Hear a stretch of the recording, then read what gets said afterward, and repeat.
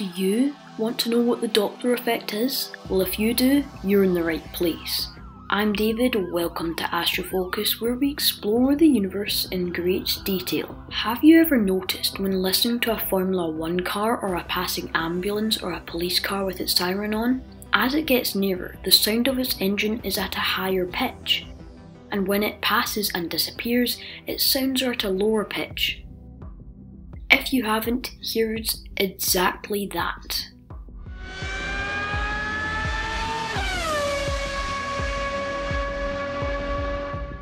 As the car approaches, the sound waves from its engine are shortened towards the observer because it will be nearer to the observer when it emits the next wave crest.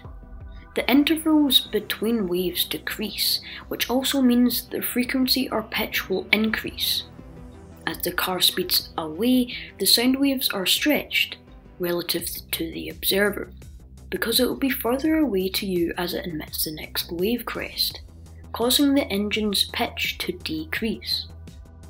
This is the Doppler effect. The Austrian mathematician and physicist Christian Doppler discovered this change in pitch which results from a shift in the frequency of the sound waves. It works for sound waves and for light waves, Astronomers use this to study the movement of celestial bodies in the universe. So, let's take this to space. So any object that's moving that emits electromagnetic radiation also shows the Doppler effect. For example, let's use a star.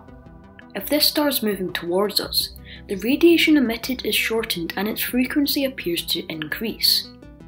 This is said to be blue shifted because in visible light, the colour is at the blue end of the spectrum.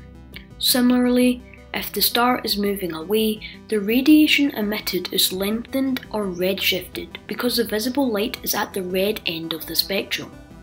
One of the reasons of why this is, is because the further away a galaxy is, the longer its light has travelled to reach us. And so, the more its wavelength has been stretched over time.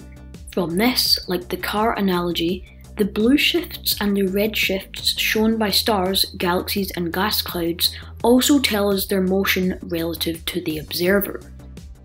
A guy called Vesto Slipher first observed this in 1917 that the spectra of many of the distant objects in the cosmos are redshifted.